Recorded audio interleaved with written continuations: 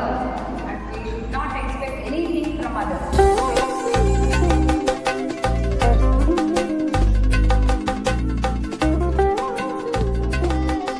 और उनका राज्य सदा समृद्ध हुआ करता था धीरे धीरे तीनों लोगों में उनकी प्रशंसा होने माना जाता है